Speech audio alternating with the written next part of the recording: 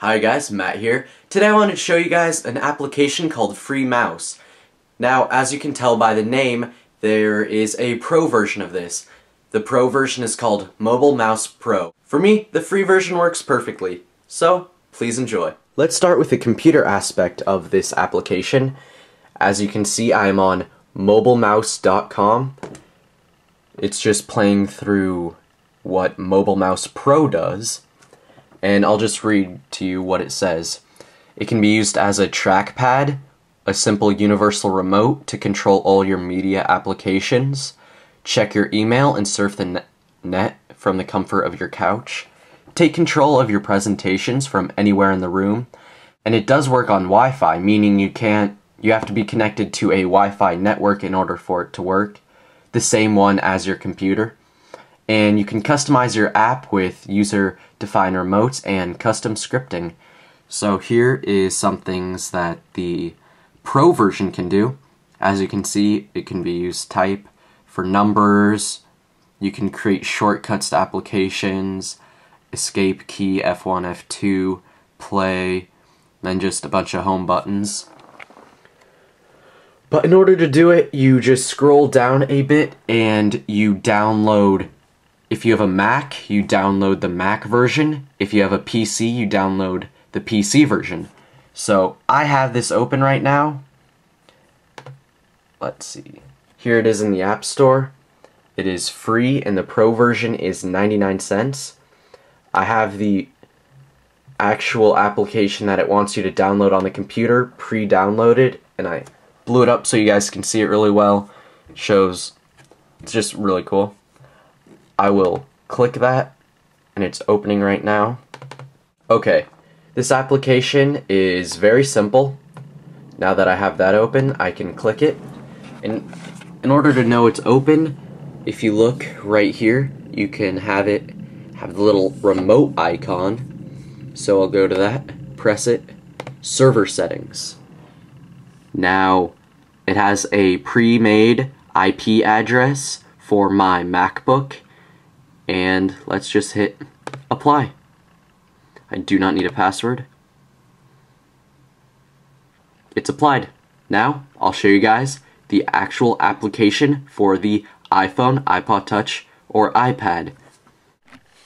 So, when you first open up the application, it will go to this GoPro screen, just doing a little ad for their Pro version, which is 99 cents. I'll hit later. And if you notice, it I have it set up already, but Matt Ringel's MacBook, you can set it up there. You can set the frequency on how sensitive the screen is to moving the mouse. It already has all this done, but you can change if your phone plays sound, like when you tap the right button and the left button. You can have it go to sleep. I have that on. Key buffer and force vertical. So I'll hit done. As you can see, this application is super simple. It just has the words right here, or the letters right here, so they will type into the computer. And they're actually typing in random letters right now. But, like, blah. So, that's really cool. You can do numbers here. You can hit the Apple key and do shortcuts. It's doing shortcuts right now on my computer.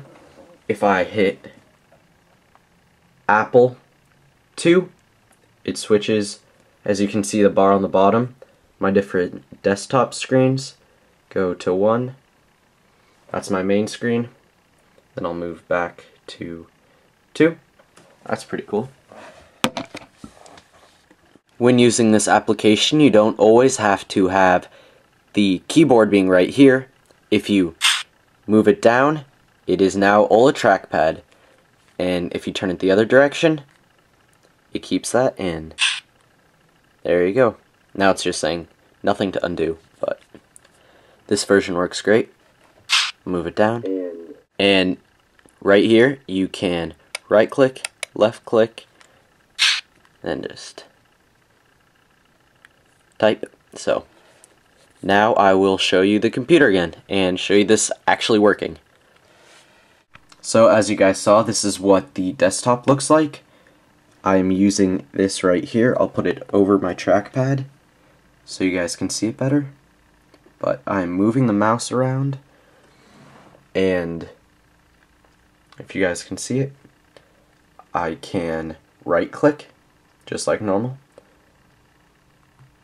I can normal click, you guys can tell, but uh, let's go to a website so I can show you. Let's go to Twitter. Opening it up right here, you just tap to open it up. So, wow, I refound. Okay, so now that we're on Twitter, I can show you by using these side keys right here. Right here. My screen is scrolling. First I have to click the screen like normal, the screen is scrolling. Does it really smoothly. So, that's cool. I'll go up to the top and I'll type something in. I will go like that. Type in, it automatically has shift done. Playing, okay that's bad. Aim with free, oop. I always mess up when I'm on camera.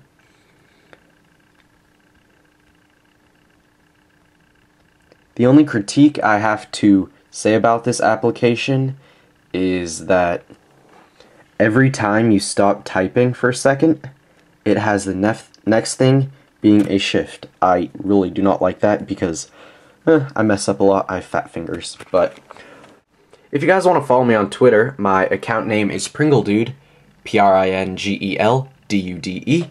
Thanks for watching, and if you could, could you please subscribe, just so you will be notified every time I post a new video.